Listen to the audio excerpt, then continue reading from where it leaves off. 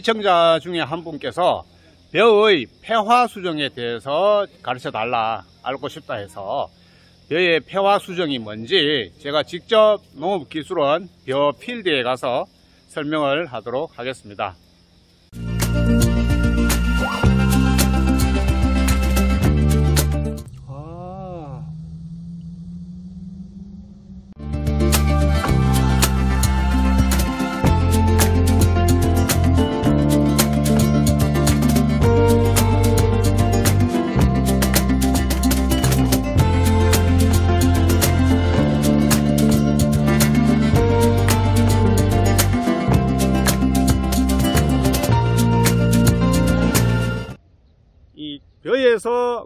꽃잎이라고 하는 음, 우리가 보통 왕겨라고 부르죠.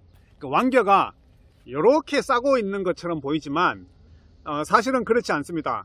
한쪽이 요래 작아요. 작고 다른 큰 쪽이 이렇게 감쌉니다. 이런 형태로 싸고 있거든요.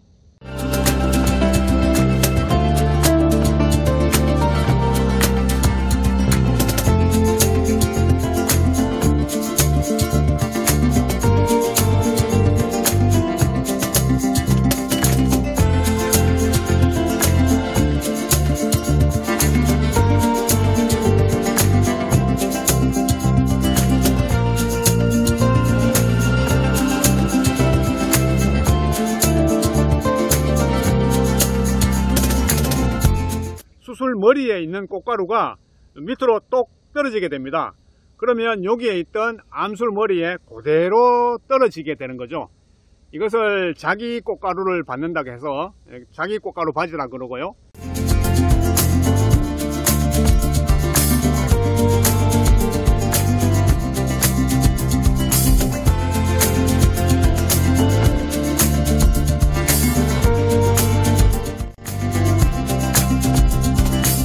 그 품종에 이름을 붙여야 되잖아요. 그래서 규칙을 정했습니다. 조생종은 산 이름을 붙이고 중만생종은 강 이름을 붙이자.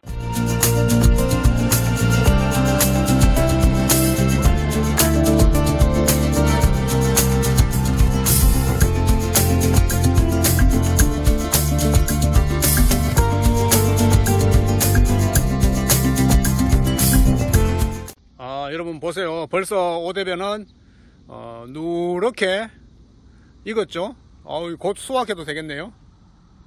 이렇게 조생종은 산 이름을 붙이고요.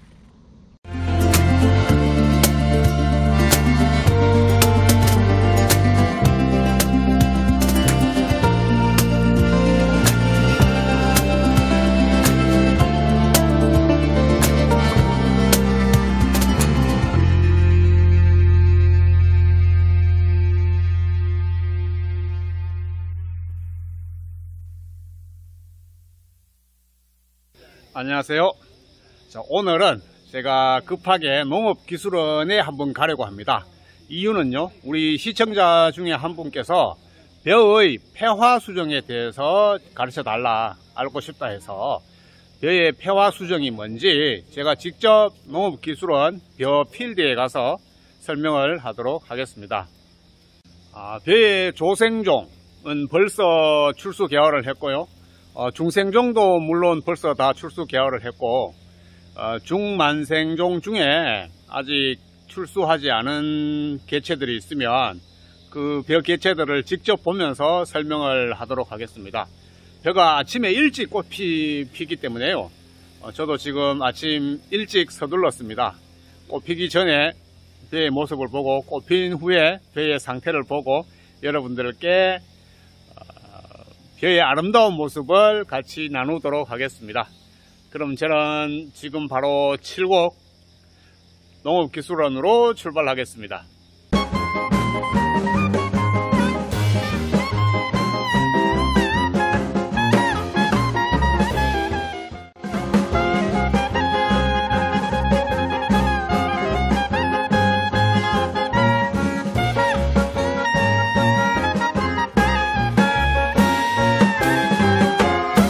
야, 벌써 농업기술원에 도착했습니다. 엄청 밟아왔어요. 어, 들판을 한번 볼까요?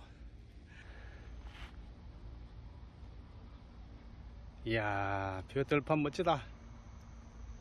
저 너머에는 벌써 노릇노릇하게 익어가네요. 저기는 아마 조생종인 것 같습니다. 여기 앞에 보이는 벼는 중만생종이고요. 아, 이제 출수를 다 완료를 했죠.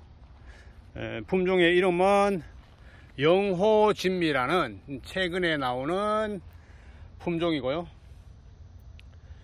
진미라는 이름이 있는 거 보니까 맛이 아주 좋다 이런 것 이런 뜻인 것 같아요.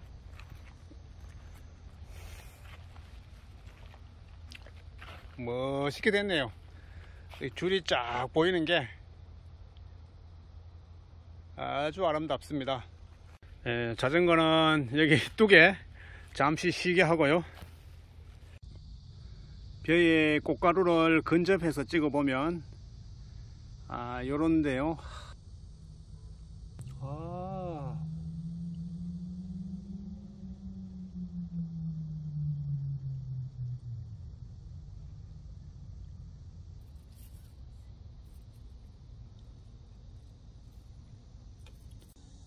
오, 깨구리, 어, 어디 갔니? 모습을 보여줘. 먼저 폐화 수정의 원리를 말씀드리겠습니다. 구독자님께서 어, 정말 간단하게 질문해 주셨어요. 벼는 폐화 수정을 어떻게 합니까? 제가 그 질문을 읽는 순간, 어? 띵 박았습니다.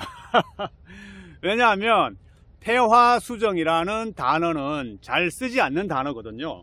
일반인들이 잘 몰라요. 어, 전문가들만 쓰는 단어인데요. 어, 한자로 하면 뭐 간단합니다. 다들 폐자, 꽃 하자. 닫혀진 꽃에서 수정이 이루어진다. 그래서 폐화 수정이라는 단어를 쓰는데요. 어, 그분은 뭐 전문가이거나 아니면 어떤 어, 전문적인 책을 읽었거나 둘 중에 한 분인 것 같습니다. 어, 먼저 폐화 수정의 원리를 알려면요. 음, 꽃에 대해서 알아야 되는데요. 여러분 꽃이 뭘까요? 에, 꽃은 뭐 간단합니다. 네 가지 구성 요소가 있으면 우리가 꽃이라고 부르는, 데 자, 꽃잎, 꽃받침, 암술, 수술입니다.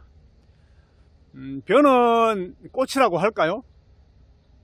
꽃이라고 하는 사람도 있고 벼를 꽃이라고 얘기하지는 않겠죠 일반적으로 왜냐하면 꽃잎과 꽃받침을 잘 볼 수가 없어요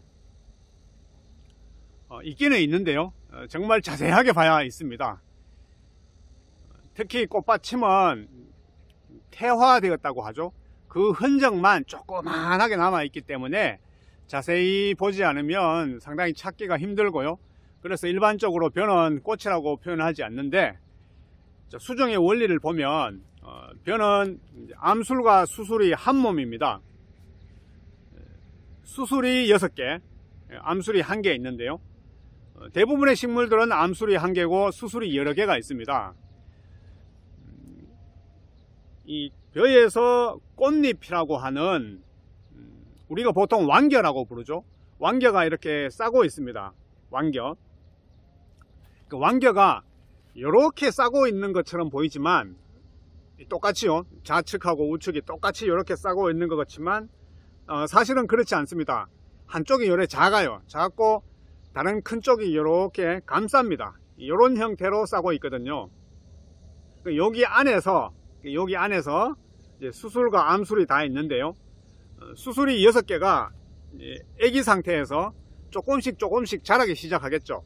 요 다친 상태에서 암술은 여기 밑에 여기 바닥에 있고요. 수술은 이렇게 암술은 여기 바닥에 있고 수술은 이렇게 이렇게 6개가 있는데 이것이 점점 자라기 시작합니다.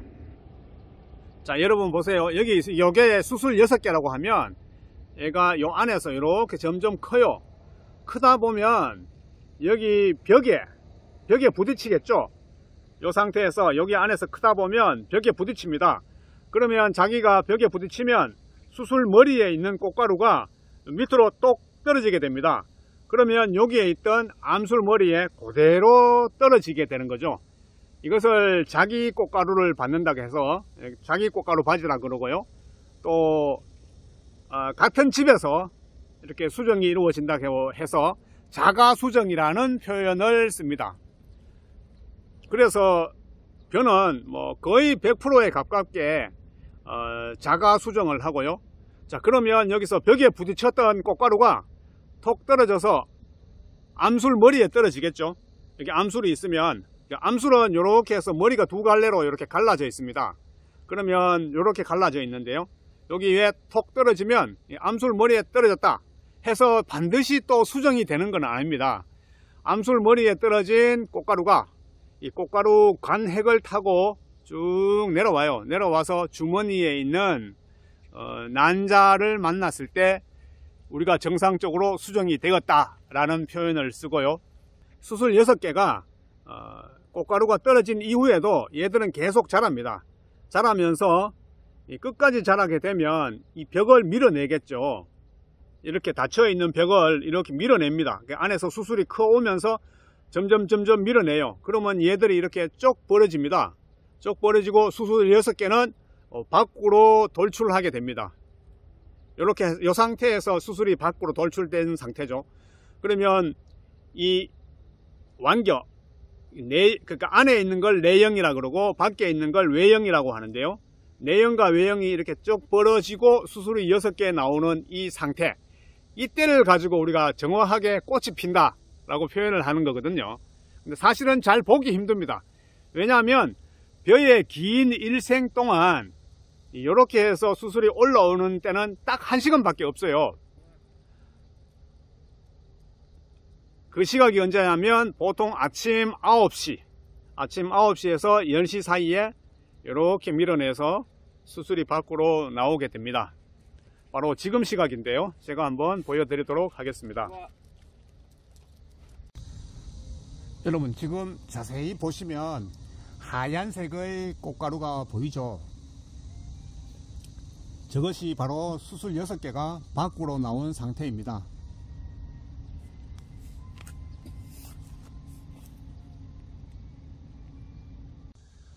제가 지금 휴대폰으로 촬영을 하다 보니까 아, 조금 한계가 있어서 잘 안 나오는데요.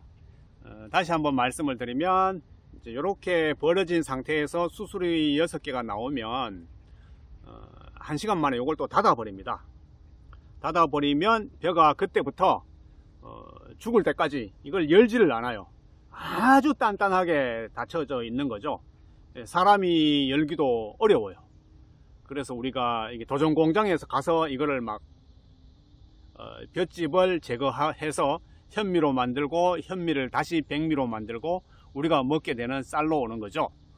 어떤 분들은 이렇게 말씀하세요. 이렇게 열어져 있을 때 다른 꽃가루가 날아와서 이 안에 들어가면 이 암술머리에 묻어서 어, 타가 수정이 되는 거 아니냐 라고 말씀하시는데요. 아, 그렇지 않습니다. 벌써 열기 전에 열기 전에 이 안에서 이 수술이 타고 올라오다가 벽에 부딪혀서요 벌써 꽃가루는 떨어진 거예요 떨어져서 암술 머리에 벌써 닿았거든요. 그래서 열어졌을 때 뭐 혹시라도 다른 뭐 바람에 의해서 혹은 충에 의해서 이 안에 들어와서 꽃가루가 여기 묻는다고 해도 어, 수정이 되지는 않겠죠. 근데 확률적으로 어, 웃자다가 어, 이게 수술이 자라갖고 벽에 안 부딪히고 이 꽃가루가 안 떨어져 가지고 이렇게 벌어져서 다른 집에 있는 꽃가루가 들어와서 타가 수정이 될 확률이 어, 완전히 뭐 100% 없지는 않아요. 있기는 있는데 그 확률이 연구에 의하면 약 0.1% 수준이다. 이렇게 나와 있어요. 그래서 뭐 무시해도 좋다. 변은 대표적인 자가수정 작물이다. 라고 얘기하는 거죠. 여기 보시면 이게 잎집이라고 하는데요. 잎집 속에 어, 이렇게 이삭이 지금 나오고 있는 단계거든요. 에, 벌써 이 외형과 내형은 형성되어 있고요. 이 안에 이미 꽃가루가 있습니다. 꽃가루가 있기 때문에 꽃가루가 자라면서 여기서 벌써 수정이 된다고 봐야 되겠죠.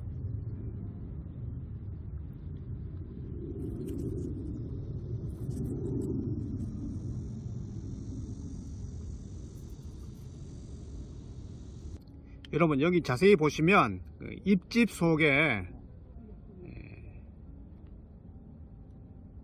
여기 벼 알갱이 안에 이 하얀 거 혹시 보이시나요?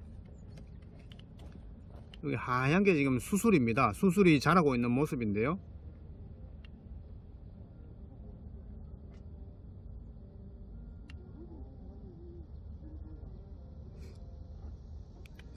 아, 이게 눈으로는 보면 정확하게 보이는데 카메라라서 잘 안 보이는 것 같기도 하고.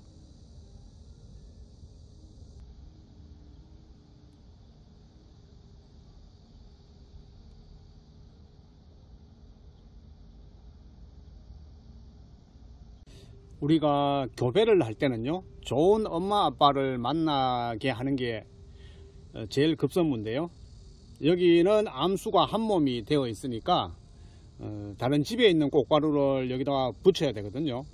예, 다른 집에 예를 들어서 김서방 집에 있는 꽃가루를 이쪽 이서방 집에 이렇게 옮겨야 되는 작업이기 때문에요. 음, 굉장히 어렵습니다.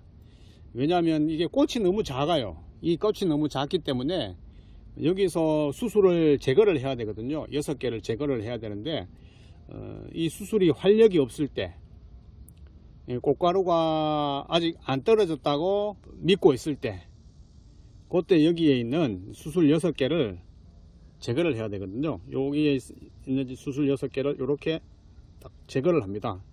그러면 여기 안에 보면 여기 안에 보면 암술머리가 보여요. 다시 이쪽을 끊어 볼까? 그러니까 암술은 끊지 말고 수술만 끊어 보는 거죠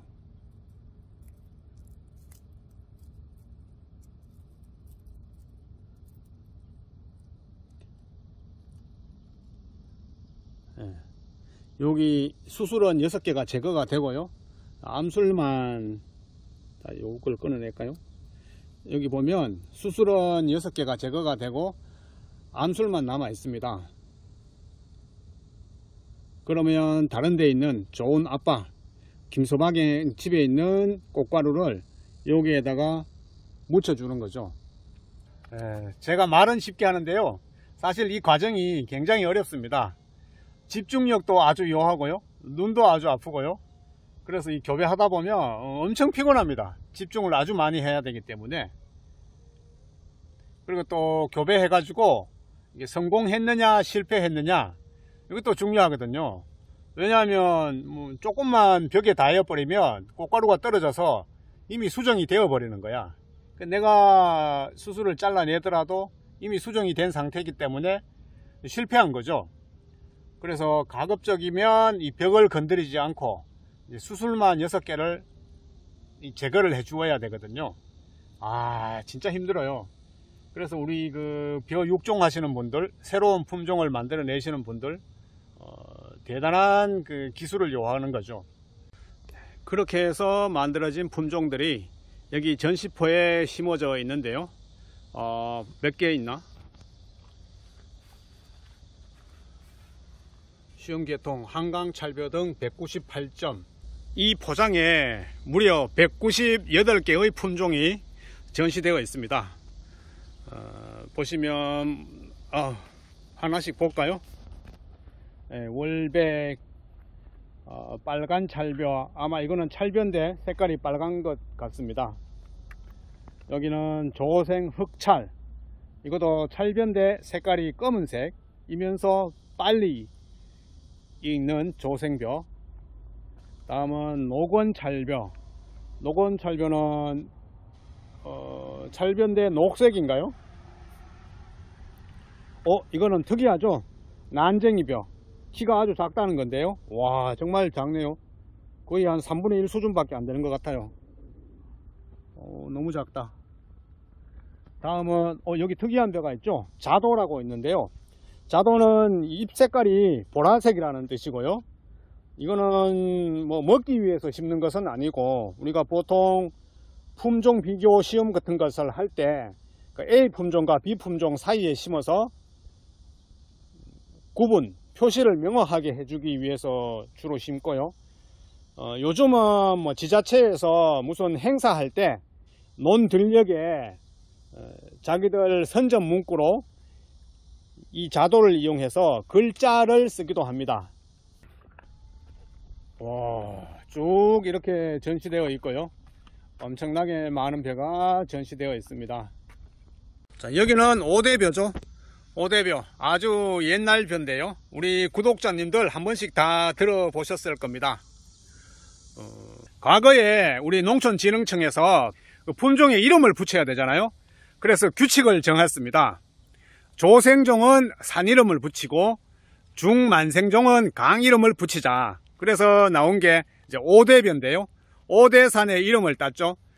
예, 산 이름을 붙였으니까 이것은 틀림없이 조생종이다. 아, 여러분 보세요. 벌써 오대변은 어, 누렇게 익었죠. 어, 곧 수확해도 되겠네요. 이렇게 조생종은 산 이름을 붙이고요. 또 우리 구독자님들 어, 익숙한 벼가 나왔습니다. 낙동벼. 어, 제가 방금 말씀드린 것처럼 낙동은 낙동강에서 나온 이름이기 때문에 강 이름을 땄다. 그래서 이것은 중만송정에 가깝다. 지금 아직도 어, 파랗잖아요. 아직 익으려면 조금 있어야 됩니다. 더 있어야 됩니다. 자, 그렇게 산 이름과 강 이름을 붙여 나가다 보니까 아, 우리나라에 산 이름, 강 이름을 다 써버린 거예요. 이제 더 이상 붙일 이름이 없는 거야. 그래서 그 다음부터는 산 이름, 강 이름을 붙이지 않고 그 벼의 특징을 잡아서 어, 붙이기로 했습니다. 그래서 나온 이름이 여기 있는 일품벼, 밥맛이 일품이라는 거죠. 우리 경북 지역에서 가장 많이 재배되고 있는 품종이고요. 어, 진짜 밥맛이 좋아요, 일품벼가. 아, 일품벼 농사 아주 잘 됐죠. 아주 깨끗하고 농사 좋습니다. 예, 지금까지도 많은 사랑을 받고 있습니다. 왜? 밥맛이 좋으니까. 여기는 화영변인데요. 어, 화영변은 앞에 있는 화자가 꽃 화자이겠죠. 그래서 꽃가루 배양을 통해서 나온 품종이다. 제가 방금 전에 전통적인 교배 방식은 좋은 엄마, 좋은 아빠를 만나서 두 개를 교배하는 방식이라고 했는데요. 꽃가루 배양은 그렇지 않습니다. 그렇게 했을 경우에 시간이 너무 많이 걸린다는 거예요. F12세대, 자식 12세대까지 내려가야 되기 때문에 약 12년이 걸린다는 거죠. 1년에 한 번 농사 짓는다고 가정했을 때, 어, 이 너무 시간이 많이 걸린다. 그래서 나온 대안으로 꽃가루 배양을 통해서 바로 반수체 육종을 하는 기술을 가지고 이 하영벼가 탄생하게 된 거죠. 화영벼는 12년의 반인 약 6년 만에 나온 아주 우수한 품종이 되겠습니다. 다산 2호 뭐 이름만 들어도 수량이 많이 나온다 이런 뜻이겠죠.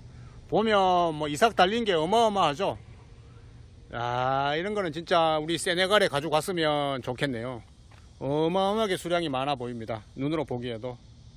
네, 여기 있는 설경은 어, 술 제조용으로 만들었고요. 또 여기에 있는 미면, 미면은 이름만 들어보면 어, 뭐 국수 제조용이나 이렇게 만들었다는 느낌이 오죠. 고아미 2호가 있는데요. 어, 여기는 고아미, 아밀로스 함량이 높다는 거죠. 예, 이거는 우리가 살 안 찌는 쌀 용으로 만들었죠. 살 빼는 쌀. 그러니까 아밀로스 함량이 높다 보니까 아마 어, 살 빠지는데 좀 더 유리하지 않을까? 뭐 그렇게 생각됩니다. 여기 있는 고품 뭐 이름만 들어봐도 품질이 아주 뛰어나다. 이런 뜻이고요. 여기는 이름이 새일품이죠. 어, 이름만 들어보면 일품배에서 파생되어 나왔다.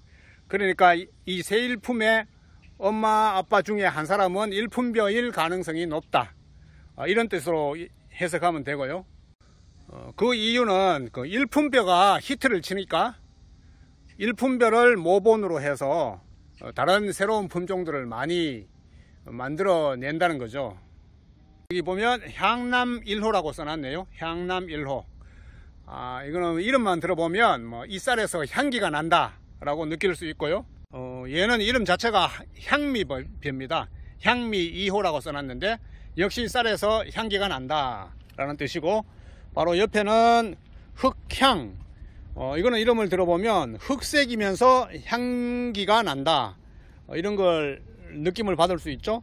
네, 이름, 이름만 보면 뭐 거의 추측할 수가 있어요. 향기 흑찰. 이거는 향기가 나면서 흑색이면서 또 찰성이 좋다 찰벼이다 라는 뜻이고요. 노른자 찰벼 노른자 찰벼는 처음 보는데요? 뭐야 여기 달걀 노른자가 있다는 건가? 이 안에? 신기하네요 이름이. 적진주 찰벼. 요거는 붉은색이면서 찰, 찰성을 나타낸다. 이제 벼의 이름을 지을 때 그 벼의 특성을 가지고 이름을 짓기 때문에 요즘 나오는 벼의 품종들은 대충 이름만 보면 그 벼가 어떤 특징을 갖고 있는지를 알 수가 있습니다 아 세네갈에 가 계시는 홍 선생님께서 전송에 약간의 문제가 있어서 어, 3일 동안 영상이 없다가요. 어, 이제 이제부터 다시 또 복구를 했어요. 그래서 영상을 보내기로 하셨고 어, 지금 음, 전송이 조금 느려서 어, 아마 내일부터는 다시 세네갈 영상을 기대해도 좋을 것 같습니다. 음, 다행히 휴대폰 복구는요 맹겐보이에 우세인우 청년이 있어서 어, 그 청년이 알아서 어, 잘 해주었습니다. 아, 감사한 일이죠. 어, 상당히 어려운 여건인데 군데군데에 우리를 도와주는 의인들이 아주 많습니다. 에, 우리 구독자님들도 지금 열심히 응원해 주시고요. 어, 그래서 더욱 어, 홍 선생님께서 힘을 내시는 것 같습니다. 앞으로 맹겐보이에서 어떤 활약이 펼쳐질지 어, 계속 봐주시고요. 저도 굉장히 궁금해 죽겠어요 어, 처서가 지났는데 지금 날씨가 엄청 뜨겁습니다. 이제 돌아갈 일이 돌아갈 일이 걱정이네요. 혀까지 꼬인다. 아, 다시 돌아가서 홍 선생님 영상을 편집해서 또 올리도록 하겠습니다. 감사합니다.